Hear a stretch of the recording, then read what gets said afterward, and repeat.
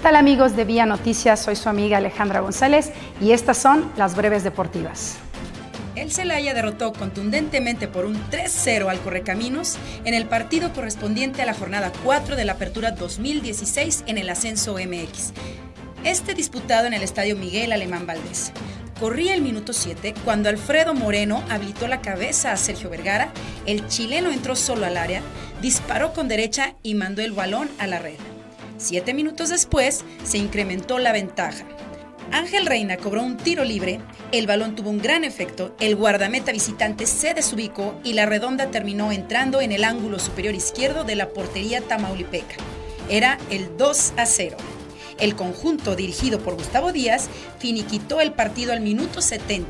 Franz Torres se incorporó al ataque por el sector izquierdo. Metió un gran servicio, el cual remató con la cabeza. Charles Monsalvo para poner el 3 por 0. El tiempo transcurrió y no hubo más. Celaya goleó, gustó y sumó tres puntos más en el torneo. Con este resultado, los cajeteros llegaron a siete puntos, mientras que los tamaulipecos se quedaron con cuatro unidades. En la fecha 5, los toros visitarán a Zacatepec y Correcaminos recibirá a Mineros.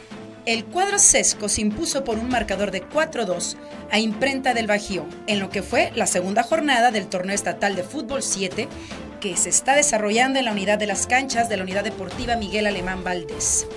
Por parte de Sesco metieron el balón a las redes Miguel Segura, Ahmed Mendoza en dos ocasiones y una por parte de José Pistolas Islas, para así sumar dos partidos ganados. De imprenta del Bajío hicieron gol Arturo López y Adán Mendoza. Dentro de este torneo, el cuadro de Celaya declinó participar y se está a la espera de añadir otro equipo con la autorización de todos los cuadros restantes. Al certamen le falta otra jornada para comenzar con la etapa de semifinales rumbo al certamen nacional que será en Veracruz. Las chicas de la Sport de Estomatología se pusieron la corona del torneo de fútbol 7 que organizó la Universidad Continente Americano. En el duelo fueron contundentes al ganar por un marcador de un 5-0 a sus homónimas de psicología. Las anotadoras fueron Diana Rivera con dos goles, Laura Moya con uno y Fernanda Cabrera con dos anotaciones. El primer juego se dio entre el equipo Chectos de Cultura Física contra Newpi de Arquitectura. Cultura Física se llevó el trofeo también por goleada, pero de 9-0.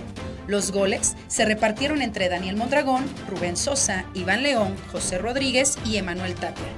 En la premiación estuvieron el director de la UCA, Javier Medina, y por parte de SIDEC, Marco Gagiola. Y esto fue todo por hoy. Soy su amiga Alejandra González y nos vemos en la próxima en las breves deportivas.